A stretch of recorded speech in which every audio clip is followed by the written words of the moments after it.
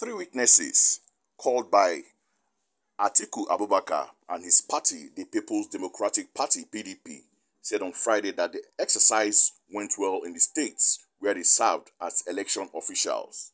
Grace Ajabuna, Abidemi Joseph, and Obosa Edosa, who testified before the Presidential Election Petition Court as petitioners, subpoenaed witnesses said they were ad hoc staff of the Independent National Electoral Commission (INEC) and served as the presiding officers in Edo, Niger, and Kogi State. Ajagbonna, Joseph, and Edosa said the whole uh, electoral process went well where they served and that they complied with all the rules and regulations.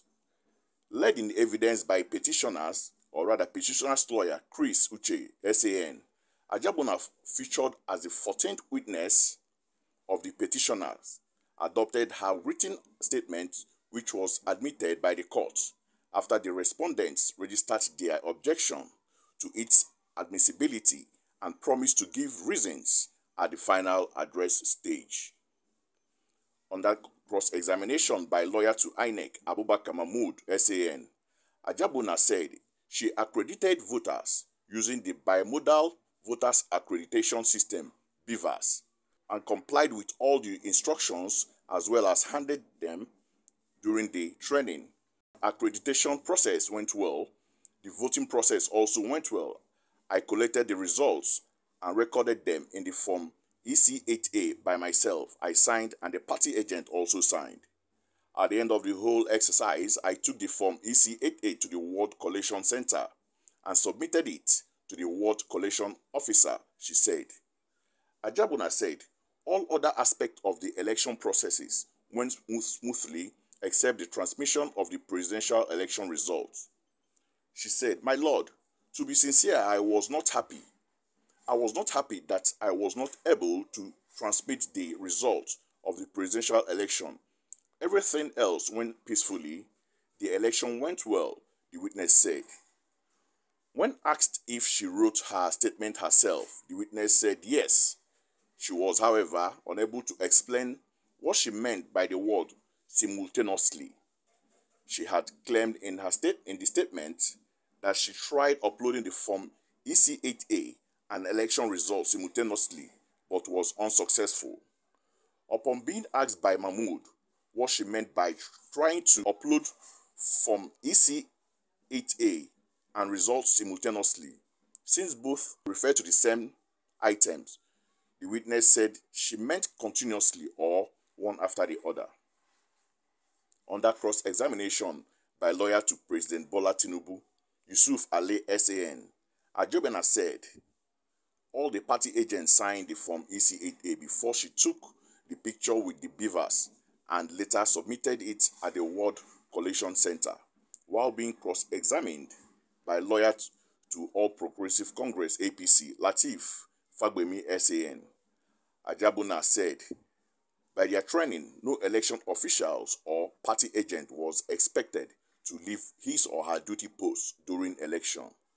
By our training, nobody else is allowed at the polling unit except the presiding officer, collation officer, party agents, security officials, and the voters. A collation officer or agent and others who were assigned rule are expected to stay at their duty post during the election not moving about, the witness said. Joseph gave similar evidence but added that under cross-examination by Ali that they were taught during training to compel any party agent to sign result sheets, adding that the choice to sign or decline was that of the party agent to make. Edosa said election process went well, but for her inability to upload the result at the polling unit, she said I did the accreditation using the Beavers machine. The process of accreditation went very well. Voting went well too. We sorted and counted the votes and recorded the scores in the form EC8A. I entered the figures manually. After that, the party agent and I signed the form EC8A. I tried to upload the result using the BVAS, but it failed.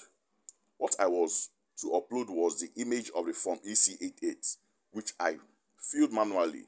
Form EC8A is the result sheet. At the end of everything, I took the Form EC8A to the Ward Collation Center and submitted it to the Ward Collation Officer.